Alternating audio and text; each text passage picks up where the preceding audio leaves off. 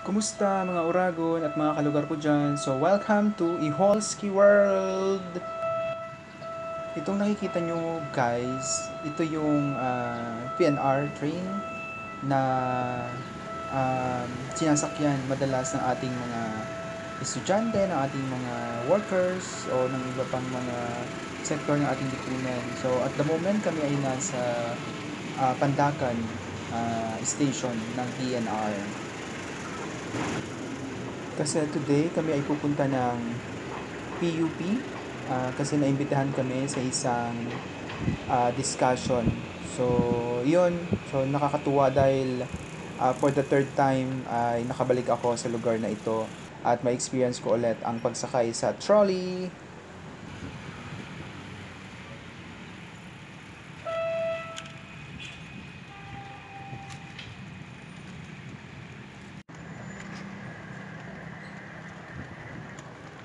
Hi guys, good morning. So ngayon ay nasa trolley ako.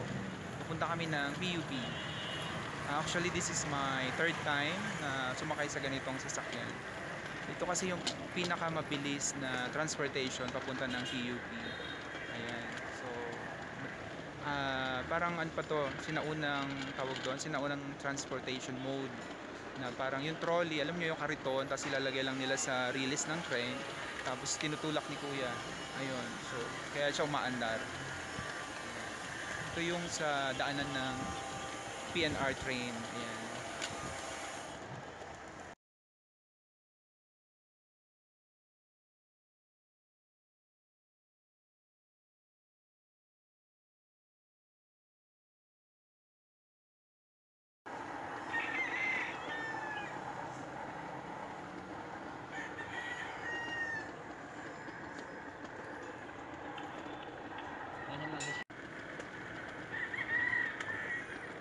Ayan, so ito guys yung dinadaanan namin ngayon papunta ng PUP. Ayan. So sa gilid ng release ng train ay merong mga community, may mga kabahayan. So basically this transportation mode uh, ay ginagamit ng karamihan ng mga estudyante of course, tapos yung mga nagtatrabaho. So dito sila sumasakay. So if you happen to visit this place, ano ba, pupunta kayo ng PUP or nearby um, ano ba kung ano man sadya nyo dito sa Metro Manila malapit dito sa PUP pwede nyo tong sakyan. Ah, ang pamasahe pala dito is 10 pesos. So sa trolley ngayon ay ano kami bali 10 katao. Ayun pero kapag may dumaan na PNR train, syempre kailangan naming umalis muna. Tapos tatanggalin yung trolley dito sa release ng train. Syempre kailangan namin umalis kasi baka masagasaan kami. Ayan, so ito yung daan papunta doon.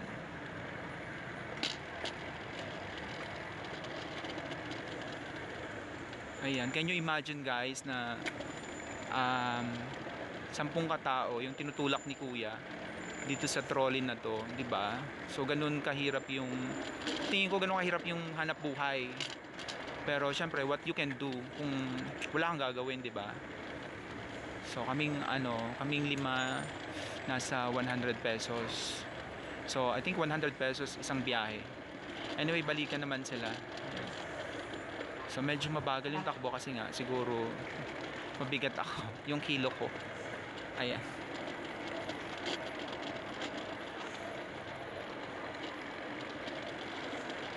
Sila pa yung matatawag din natin na part ng in- informal sector. So, informal sector which mean wala silang ang tawag doon, amo. So, sila mismo yung kumakayod para sa sarili nila.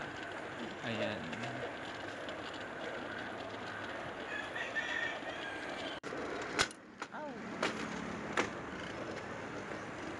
So, ito na guys yung mga trolley na pabalik.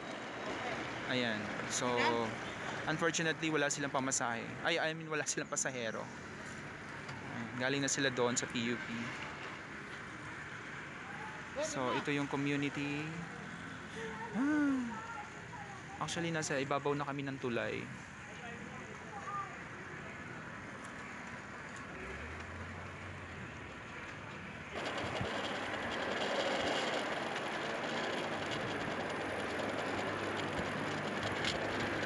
Ayan, nasa ibabaw na kami ng tulay. Dumadaan na kami sa, sa tulay. Ito yung ilog. So, isa siyang mahabang tulay.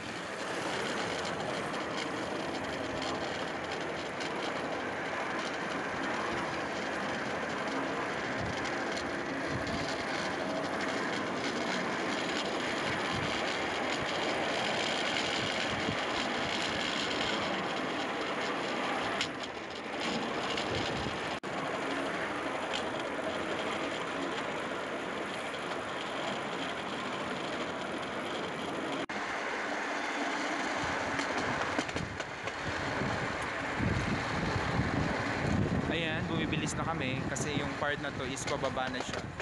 So hindi, hindi na mahirapan si kuya magtulak.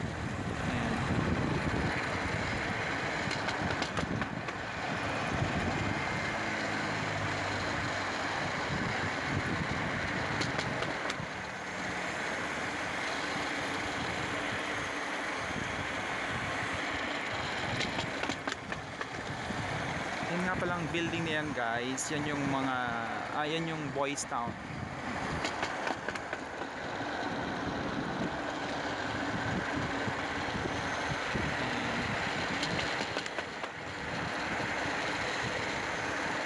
So kung kayo nagmamadali at may pupuntahan kayo dito sa Santa Mesa, malapit sa PUP, ayun, pwede kayong sumakay ng trolley. Is the fastest and easiest way na sasakyan papunta sa inyong mga destination.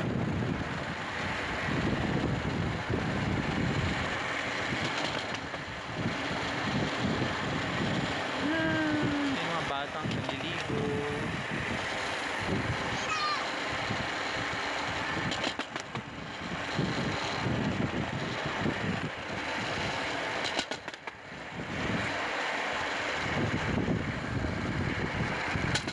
So ganun lang naman guys yung buhay, 'di ba? Parang katulad lang din siya ng pagsakay sa trolley.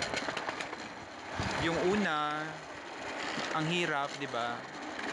Kasi kailangan mo itulak ang sarili mo para gumawa ng isang bagay.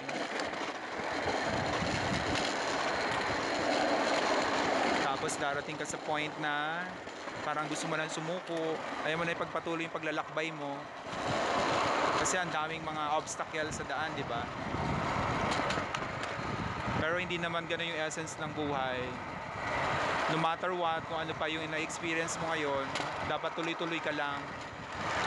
Dapat ang goal mo is makarating sa yung destination. So, yun lang guys. So, I hope na kahit paano may natutunan kayo sa video na to. And hopefully you subscribe on my YouTube channel. It's si Walski World. So, see you guys around, mga kalugar ko dyan, mga Uragon. So, tuloy-tuloy lang ang buhay. Kasi habang nabubuhay tayo, tuloy-tuloy lang ang paglalakbay. So, eto na kami sa destination namin, PUP. God bless guys. Bye-bye.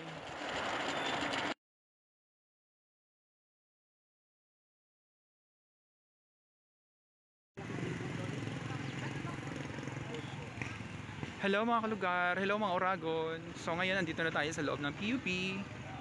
Ayan, naglalakad na tayo. So para magkaroon lang kayo ng idea kung ano ba ang tsura ng PUP sa loob. So, ayan, of course, PUP, Polytechnic, Polytechnic University of the Philippines. Ayan, isa sa pinaka prestigious school here in Metro Manila. At mura lang ang tuition fee. So yan.